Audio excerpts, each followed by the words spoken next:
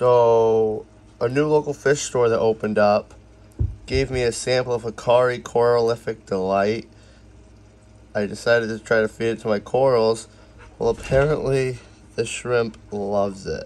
He's literally going coral to coral and stealing it all.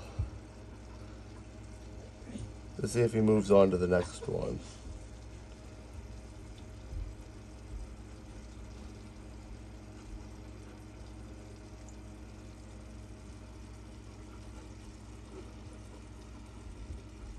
You can see my anemone, anemone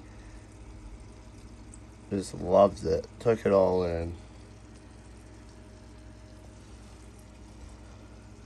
He left this one alone for now. I'm sure he'll make his way over.